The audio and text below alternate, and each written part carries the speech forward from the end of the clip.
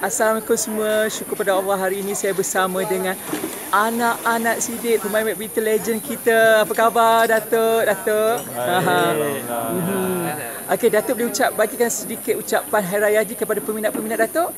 Aha. Apa saya ingin mengucapkan selamat hari Adil Adha yang mhm. akan berjalan tiba dan semoga bergembira selalu. Hmm, terima kasih. Kami semua sayang anak-anak Sidik eh. Okey, okey. Okay. okay.